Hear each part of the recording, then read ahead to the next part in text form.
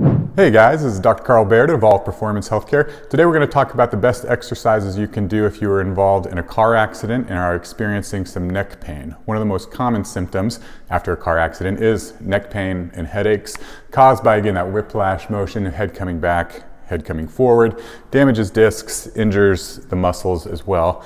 And so what we want to do is give you three exercises that you can easily do at home if you're involved in a car accident. So the first one, the goal is of this exercise is one to restore range of motion. So a lot of times after an accident, um, we lose range of motion just as the body's trying to protect itself. We want to get that range of motion back. It also helps decrease pain and speed the healing process. So these exercises are just called pain-free range of motion of the neck. So all we're going to do is take the neck through range of motion exercises in that pain-free range. So what we'll start with is about 30 seconds to a minute of just going right to left 30 seconds to a minute of bending right, bending left, and then 30 seconds to a minute of flexion and extension.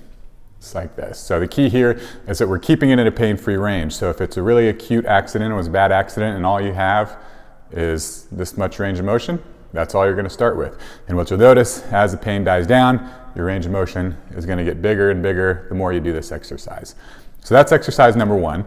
The second exercise, we want to start building strength back in those neck muscles. So again, those neck muscles got really stretched with that whiplash motion. We want to build that strength and also be sure that the muscles are healing in the right way and that the soft tissue that's being laid down is being laid down parallel with the muscle rather than creating scar tissue which hinders uh, range of motion in the future. So to do that, we have what are called isometric neck exercises. So again, same thing, we're gonna go through range of motion, but this time we're gonna stop it with the hand. So we'll start with rotation. And so all we're gonna do is put our hand to the right.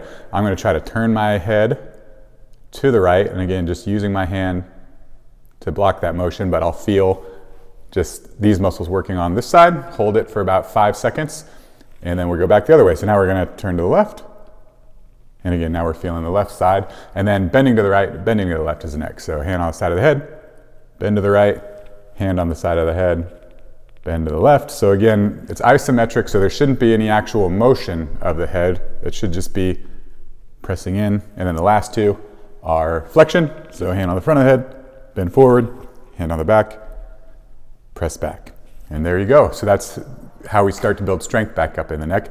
The next exercise is going to be to build some stability back in that neck. So strengthening these deep cervical stabilizers with an exercise called chin tuck. So what that's going to look like is all we're going to do is we're going to bring this chin straight back. So it's not flexion. We're not flexing the neck down this way, but we're thinking of pulling the neck straight back. So it looks like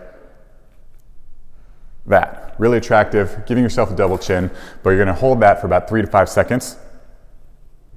And we should feel a little tension in the back of the neck there if we're doing it right, and back. Tuck the chin, and back. And so what that's doing again is it's strengthening our deep neck stabilizers. And that's it. Those are the three exercises to do if you're involved in a car accident.